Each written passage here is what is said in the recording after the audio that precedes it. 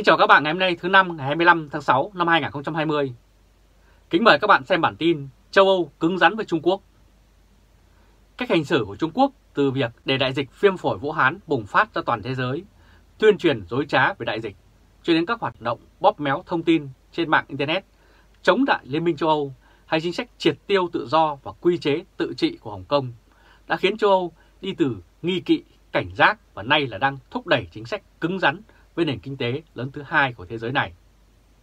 Cuộc họp thượng đỉnh giữa châu Âu và Trung Quốc lần thứ 12 đã diễn ra vào ngày 22 tháng 6 năm 2020 qua cầu truyền hình vừa qua đã không cứu vãn được mối quan hệ đã nảy sinh quá nhiều nghi kỵ trong thời gian vừa qua. Vào lúc 10 giờ sáng ngày 22 tháng 6 năm 2020 giờ Bruxelles, Bỉ, Chủ tịch Hội đồng châu Âu Charles Michel, Chủ tịch Ủy ban châu Âu Ursula von der Leyen, đại diện cho Liên minh châu Âu cùng với Thủ tướng Lý Khắc Cường và Chủ tịch Tập Kinh Bình, đại diện cho Trung Quốc, bắt đầu hội nghị được mô tả là trong bầu không khí ngờ vực lẫn nhau. Đây là hình ảnh về hội nghị thượng đỉnh trực tuyến giữa Liên minh châu Âu và Trung Quốc tại Bruxelles, Bỉ diễn ra vào ngày 22 tháng 6 năm 2020. Doanh nhân châu Âu và Tây Phương nói chung nhức óc về những chính sách phân biệt đối xử khi đầu tư vào Trung Quốc. Đổi lại, Bắc Kinh đang lo âu về thái độ lạnh nhạt cũng như các biện pháp mới tại châu Âu chặt chẽ hơn đối với đầu tư nước ngoài, tuy không nói ra nhưng Trung Quốc là đối tượng chính. Theo truyền thông quốc tế, không khí nghi kỵ đã được thể hiện qua các cuộc họp chủ bị trong những ngày trước. Châu Âu không giấu quan ngại về chính sách triệt tự do và quy chế tự trị của Hồng Kông, thúc giục chính quyền Trung Quốc trả tự do cho các nhà hoạt động nhân quyền và công khai, tố cáo Bắc Kinh tuyên truyền dối trá về đại dịch viêm phổi Vũ Hán. Nghị viện châu Âu cũng đã sát cánh với hành pháp nghị quyết vào hôm thứ Sáu tuần trước yêu cầu trừng phạt các quan chức chính phủ phạm đàn áp tại Hồng Kông nếu luật an ninh Trung Quốc được áp dụng. Đại diện ngoại giao cấp cao của châu Âu Joseph Borrell cũng kêu gọi Bắc Kinh phải tỏ thiện trí vì quan hệ song phương giữa Liên Âu và Trung Quốc phải đặt trên nền tảng tin cậy lẫn nhau, minh bạch và bình đẳng. Ông nhấn mạnh là trong thế quan hệ tay ba châu Âu, Mỹ và Trung Quốc thì Liên Âu tuy có nhiều bất đồng với Tổng thống Donald Trump nhưng vẫn xem Hoa Kỳ là đối tác số 1. Còn Trung Quốc là bạn hàng cần thiết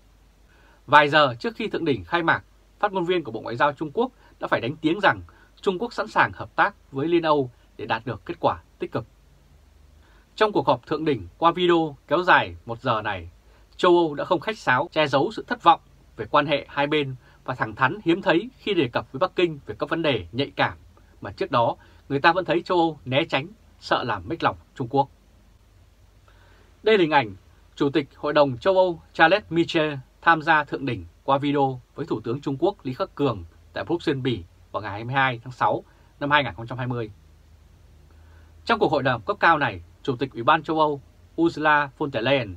và Chủ tịch Hội đồng châu Âu Charles Michel đã có lời lẽ đặc biệt cứng rắn với lãnh đạo Trung Quốc về các vấn đề an ninh mạng, quan hệ kinh tế, nhân quyền, quy chế về Hồng Kông cũng như vấn đề về khí hậu.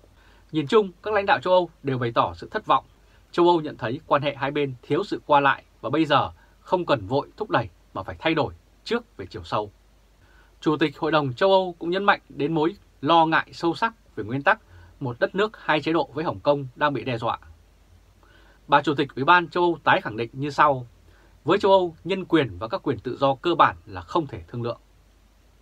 Đây là một sự thay đổi rõ rệt, không chỉ giọng điệu mà còn cả về chiến lược với Trung Quốc của Liên Âu, vốn trước đây vẫn bị đánh giá là nhu nhược và bất lực trước Bắc Kinh. Vấn đề còn lại là để xem từ lời nói đến hành động thực tế như thế nào, trong khi mà Liên Âu vốn vẫn có điểm yếu là thiếu đoàn kết và thiếu các phương tiện gây áp lực. Và Liên minh châu Âu cũng cho rằng Trung Quốc đang quá chậm trễ trong việc thực hiện các cam kết mở của thị trường. Đây là hình ảnh Chủ tịch Ủy ban châu Âu Ursula von der Leyen và Chủ tịch Hội đồng châu Âu Charles Michel trả lời truyền thông sau hội nghị thượng đỉnh châu Âu Trung Quốc diễn ra ngày 22 tháng 6 năm 2020 tại Bruxelles, Bỉ. Bà Ursula von der Leyen nói rằng chúng ta tiếp tục có một mối quan hệ thương mại và đầu tư không công bằng, với rất ít tiến triển trong thực hiện các cam kết năm ngoái của Bắc Kinh về tiếp cận thị trường. Chúng ta cần khẩn cấp thực hiện các cam kết này và chúng ta cần phía Trung Quốc quyết tâm hơn để kết thúc cuộc đàm phán bằng một thỏa thuận đầu tư. Giới chức châu Âu cho biết các cuộc đàm phán ít nhất có thể tạo ra một số động lực để phá vỡ sự bế tắc trong các vấn đề từ trợ cấp chính phủ và chuyển giao công nghệ tới biến đổi khí hậu và cơ hội bình đẳng cho các công ty châu Âu. Nhưng triển vọng đã trở nên khó khăn hơn khi Chủ tịch Tập Cận Bình thắt chặt kiểm soát xã hội và nền kinh tế. Các cuộc đàm phán vào hôm thứ Hai cũng không đưa ra được một tuyên bố chung. Chính phủ Trung Quốc cũng không đồng ý tổ chức cuộc họp báo chung nào. Và hai nhà lãnh đạo châu Âu còn nói rằng họ đã bày tỏ mối quan ngại về việc Trung Quốc đàn áp người Uhu, tức người Duy Ngô Nhĩ, và áp đặt luật an ninh quốc gia lên Hồng Kông. Bà von der Leyen đe dọa rằng Trung Quốc có nguy cơ đối mặt với những hậu quả rất tiêu cực nhưng không nói rõ hậu quả gì. Không có bất kỳ gợi ý nào về các biện pháp trừng phạt chống lại Bắc Kinh, nên điều đó không thể tránh được là sẽ chẳng có hậu quả nào.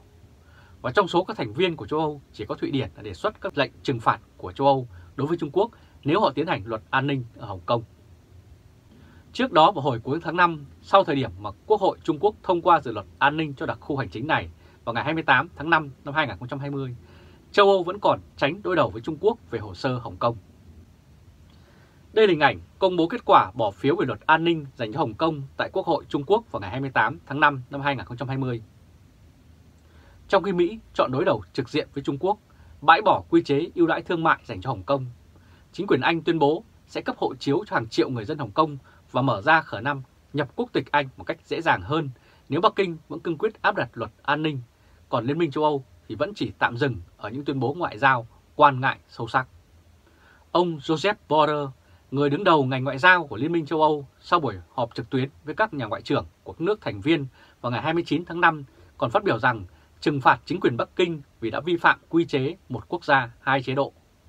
Theo tuyên bố của Anh và Trung Quốc vào năm 1984, không phải là giải pháp cho các vấn đề của chúng ta, tức là Liên minh châu Âu với Trung Quốc. Giới truyền thông khi đó nhận định rằng sau ngôn ngữ nặng tính ngoại giao và thiếu cứng rắn, thực ra Liên minh châu Âu muốn tránh đối đầu trực tiếp với Trung Quốc và bảo vệ lợi ích kinh tế trong bối cảnh Liên minh châu Âu và Trung Quốc chuẩn bị họp thượng đỉnh. Theo nhận định của hãng thông tấn AFP, chỉ dừng lại ở việc lên án các dự luật an ninh Hồng Kông, Bruxelles ở Bỉ cũng muốn giữ khoảng cách với Washington. Ngoại trưởng Pháp James Le Drian cho rằng biện pháp tốt nhất là không để bị cuốn theo cuộc đối đầu này, tức là giữa Mỹ và Trung Quốc, và không để cuộc chiến tranh lạnh thứ hai bắt đầu. Đó là cách để Liên minh châu Âu khẳng định tự chủ. Và có thể nói Bruxelles đang tìm một chiến lược mới trong quan hệ với Bắc Kinh cho giai đoạn hậu viêm phổi Vũ Hán. Đó là đòn vừa đấm vừa xoa, tránh lao vào một cuộc chiến tranh lạnh như thế để đang giữ khoảng cách với đồng minh Hoa Kỳ trước một đối tác thương mại quan trọng là Trung Quốc. Đây là hình ảnh lãnh đạo ngoại giao Liên minh châu Âu Joseph Borrell trong cuộc họp trực tuyến đối thoại chiến lược châu Âu Trung Quốc vào ngày 9 tháng 6 năm 2020 tại Bruxelles, Bỉ. Joseph Borrell cũng cho biết trong cuộc họp trực tuyến vào hôm 9 tháng 6 năm 2020 với đồng nhiệm Trung Quốc, Ngoại trưởng Vương Nghị, ông đã chấn an Bắc Kinh rằng kịch bản chiến tranh lạnh sẽ không xảy ra. Châu Âu không chỉ xoa dịu Trung Quốc trên mặt trận thông tin, mà ngay cả về phương diện quân sự. Vào ngày 9 tháng 6 năm 2020, đối thoại chiến lược châu Âu và Trung Quốc lần thứ 10 đã diễn ra lâu hơn dự kiến. Joseph Borrell và Vương Nghị đã thảo luận trong hơn 3 giờ đồng hồ và sau đó phía Bruxelles đã khẳng định rằng Liên Âu không xem Trung Quốc là một mối đe dọa quân sự và không đe dọa hòa bình thế giới, cho dù Liên Âu từng xem Trung Quốc là một đối thủ mang tính hệ thống. Vào hôm 14 tháng 6 năm 2020, ngay trước cuộc đối thoại với đại diện phía Mỹ, ông Joseph Borrell cho biết ông loại trừ khả năng thành lập liên minh với Mỹ để đối đầu với Trung Quốc. Ông Borrell khẳng định rằng châu Âu sẽ không chọn đứng về phe nào trong cuộc xung đột Mỹ và Trung Quốc và cho biết thêm châu Âu sẽ tập trung vào phong cách ngoại giao đa phương và hợp tác. Ông cho hay khi căng thẳng giữa Mỹ và Trung Quốc trở thành yếu tố chi phối chính trị toàn cầu, áp lực chọn phe đang tăng lên. Những người châu Âu chúng tôi phải chọn cách riêng và tất cả những thách thức đó mà nó mang đến. Và ông cũng nhấn mạnh quan hệ của chúng tôi với Trung Quốc không thể tránh khỏi những phức tạp và nhiều phương diện. Từ đối thủ đã thu hút nhiều sự chú ý và nó mang hàm ý đối đầu. Tuy nhiên, điều đó không có nghĩa là chúng tôi sẽ chọn một cách đối đầu hệ thống. Tuy nhiên, trên hồ sơ Hồng Kông, Liên minh châu Âu ngày càng có thái độ cứng rắn với Trung Quốc. Đây là hình ảnh các lãnh đạo các nước G7 họp tại Pháp vào hôm 25 tháng 8 năm 2019 đã bày tỏ lo ngại về tình hình tại Hồng Kông. Ngoại trưởng các nước trong nhóm G7 cùng với đại diện cấp cao Liên minh châu Âu đặc trách đối ngoại vào hôm 17 tháng 6 đã công bố một bản tuyên bố chung kêu gọi Trung Quốc xem xét lại luật an ninh quốc gia sẽ áp đặt trên Hồng Kông. Đài tiếng nói nước Pháp EFI cho biết Trung Quốc đối với Liên minh châu Âu là một đối tác, là một thế lực cạnh tranh kinh tế và cũng vừa là một đối thủ mang tính hệ thống.